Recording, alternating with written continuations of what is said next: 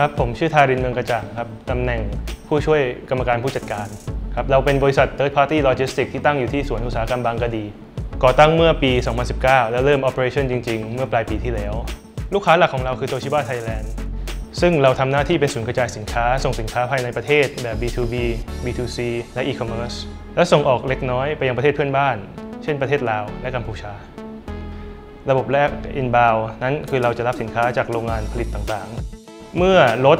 บรรทุกมาถึงหน้าท่าแล้วพนักงานของเราก็จะนำสินค้าลง แล้วหลังจากนั้นฟุกลิฟจะนำสินค้าไปเก็บตรงพื้นที่ที่กำหนด อาจจะเป็นบน selective rack หรือ on floor อันนั้นก็ขึ้นจะขึ้นอยู่กับขนาดของ product SKU นะครับ ส่วน outbound process หรือการจ่ายสินค้า จะเริ่มต้นจากฟุกลิฟไปหยิบสินค้าที่ต้องจ่ายนะครับแล้วไปวางไว้บนหน้าท่า หลังจากนั้นพนักงานก็จะดำเนินการโหลดสินค้าขึ้นรถ ครับสาเหตุแรกนะครับคือทางเรามีแผนที่จะสร้างโกดังใหม่อยู่แล้ว ซึ่ง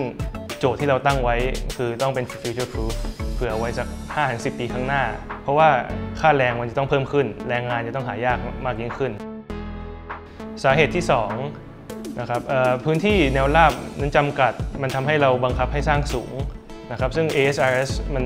ตอบโจทย์ ยกตัวอย่างนะครับเอ่อ ASRS ของเราที่เราใช้อยู่นั้น ใช้พื้นที่แค่ 6,000 ตารางเมตร แต่มันสามารถเพิ่มพื้นที่จัดเก็บแนวสูงได้ประมาณ 18,000 ตารางเมตร สาเหตุที่ 3 ระบบ first in first out หรือ FIFO ที่มีประสิทธิภาพสูง นั้นสามารถหมุนสินค้าได้อย่างรวดเร็วเลยสามารถลดการคงค้างของสินค้าได้อย่างมาก สาเหตุที่ 4 เพิ่มความแม่นยำในการจ่ายสินค้า การที่เราหันมาใช้หุ่นยนต์นั้นจะลดโอกาสของ human error ในตอนหยิบสินค้าครับ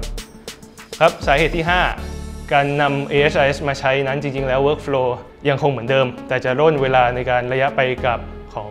forklift ในแต่ละเที่ยว ฟังดูแล้วอาจจะเล็กๆ น้อยๆนะครับ แต่เวลานั้นสำคัญมากในการจัดเก็บและจ่ายสินค้า มันสามารถเพิ่มจำนวนเที่ยวของ forklift ได้ในการจ่ายสินค้า ซึ่งมันจะช่วยใน productivity เพิ่มขึ้นอย่างมาก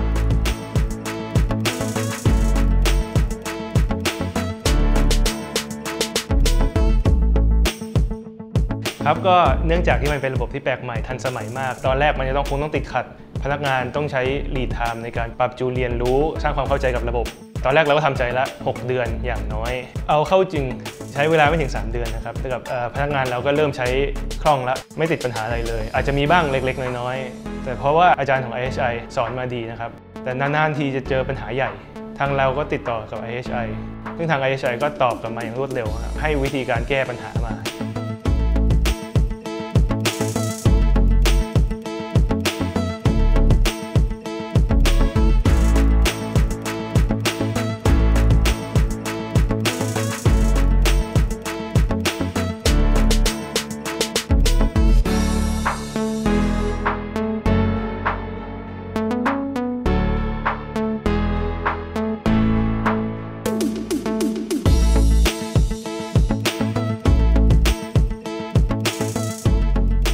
ครับ จริงๆแล้วเป็นผู้บริหารนะครับที่ได้เลือกบริษัท IHI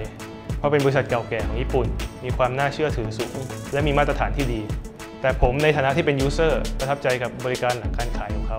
ที่คอยให้คำปรึกษาคำแนะนำกับทางเราเป็นอย่างดี